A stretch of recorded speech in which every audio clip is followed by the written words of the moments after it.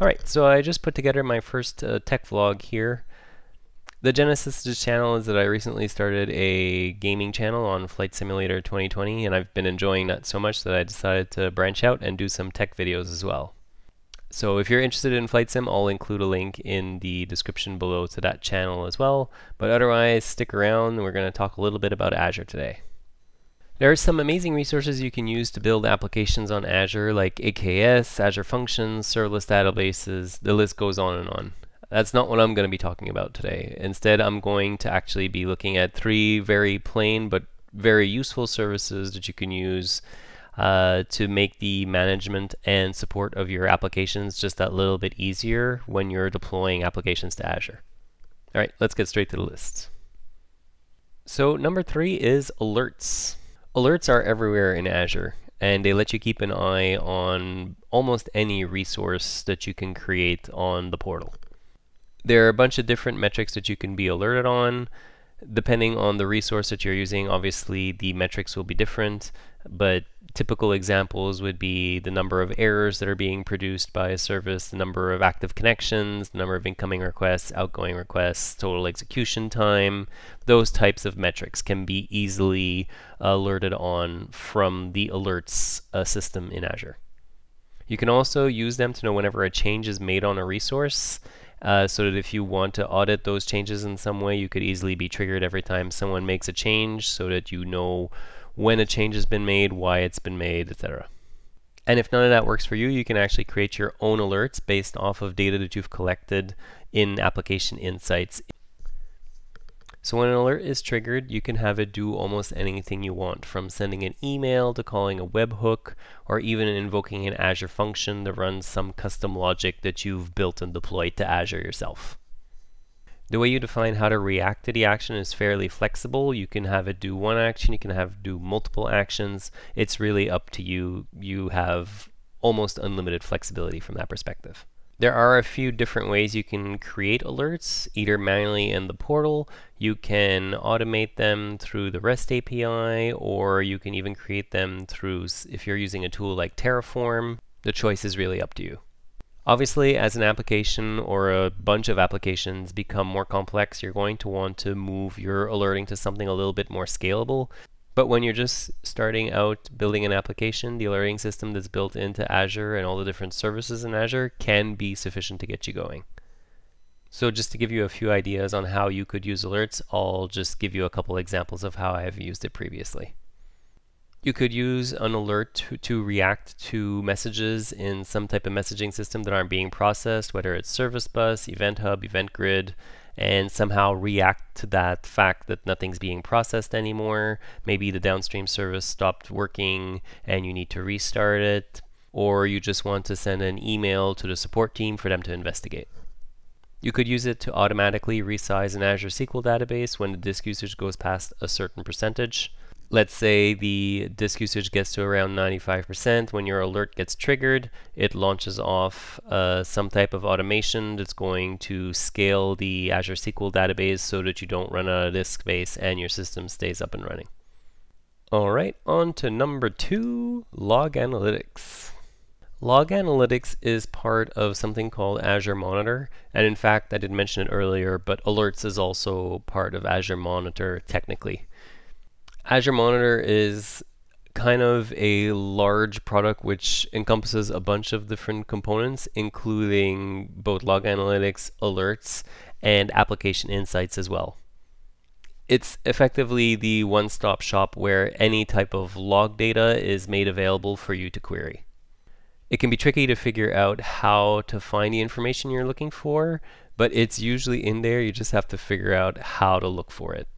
The documentation on log analytics is fairly basic and it doesn't really give you a good idea of what log analytics can actually do for you. So for example, some services are automatically configured to write to log analytics.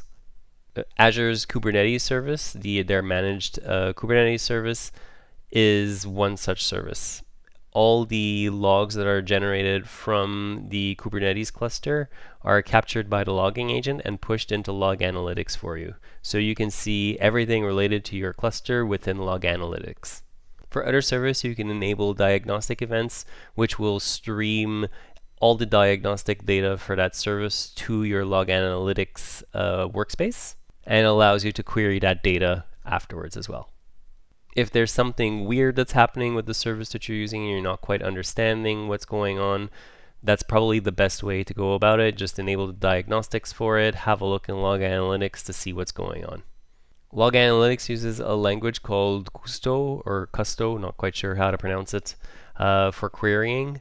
The IntelliSense for it in the portal is actually really good. If you're familiar with SQL, honestly, I don't think you need to spend more than a couple minutes trying to figure it out because the IntelliSense just works so well. It is similar to SQL. The order of statements is a little bit different, but other than that, it's you can pick it up really quick. So here are a few different ways that I've used log analytics just to give you a couple ideas. I've used it to understand where costs were coming from in a resource that was consuming a lot more than it should have been. I've used it to query uh, Kubernetes logs, as I mentioned before, and I've also used it to diagnose different uh, bugs and problems that have been occurring in uh, an application. Since everything is logged there, it made it really easy to figure out what was going on. You can easily filter down the data to what you're looking for. There's a bunch of automatic filters that you can apply. There's a bunch of default queries you can use as well to get started. The, really, the best way to learn log analytics is to play with it, play with the queries, have a look at what's available, and always try and look at the service that you're trying to query and see what it makes available. Sometimes the portal doesn't always show you everything that you can query for. Alright, and on to the final service I'm going to talk about today, app configuration. A common requirement in applications today is to separate the build process from the configuration process of your application. What that means is that you actually only end up building the application a single time, whether it's a Docker container, an Azure function, a desktop application, it doesn't really matter and you apply the configuration separately. So the configuration isn't packaged with the application, it's really done separately either by replacing certain values once you've actually built the artifact or supplying those values in some other way. So app configuration allows you to split out the configuration from the application you can have it load the configuration either with a NuGet package. That's when the application starts up it's going to pull down those configuration settings and apply them to your service. Or you could have it feed those values some other way. In Kubernetes you could have it load those values into a config map either through your deployment process or some other way so I can already hear people tell me, why don't you just do JSON substitution in your deployment process? And of course you can absolutely do that as well if you prefer that. App configuration allows you, uh, gives you a little bit more power though.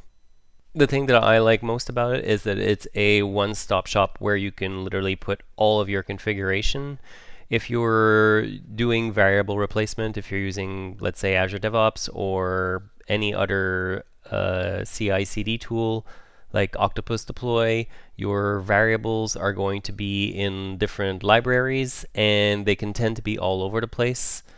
The neat thing about app configuration is allows you to have all of your configurations in that one place and then you can filter them down to whatever you need. It's all viewable at a glance within the Azure portal.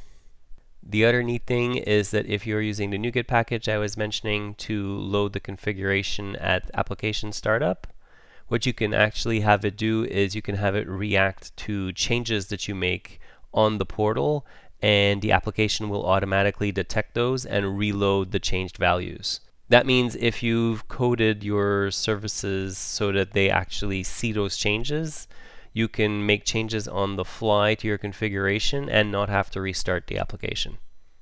App configuration does have a certain cost associated to, of course. The billing is per request. So if your application is pulling down those changes frequently, you can quickly go over the limit. There are a few different tiers as well that you can use.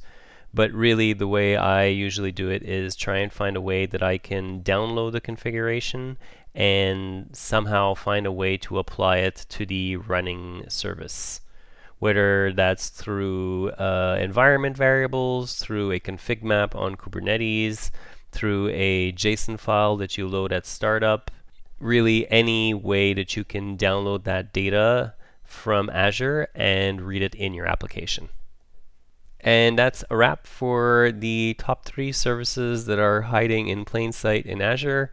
I hope you learned something useful. If you enjoyed this video, uh, please let me know in the comments and make sure to hit that like and subscribe button and I'll see you soon. Thanks.